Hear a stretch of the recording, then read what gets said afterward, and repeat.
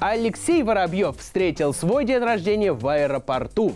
Из-за погодных условий певец не смог вернуться в Москву со съемок. На днях в столице состоялось самое многообещающее клубное открытие 2016 года. Свои двери для заядлых тусовщиков открыл ночной клуб «Стерео Дом». Именно там Алексей Воробьев и отметил свой день рождения.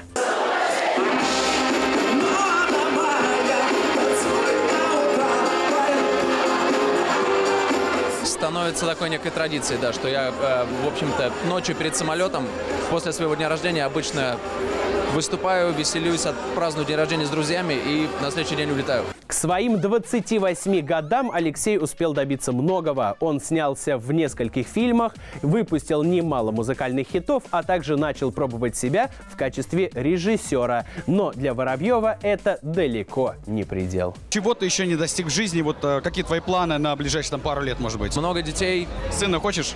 Э, я хочу и дочь, и сына, и все сразу. То, что у меня сейчас есть в карьере, это неплохо, но очень мало для меня. Вот.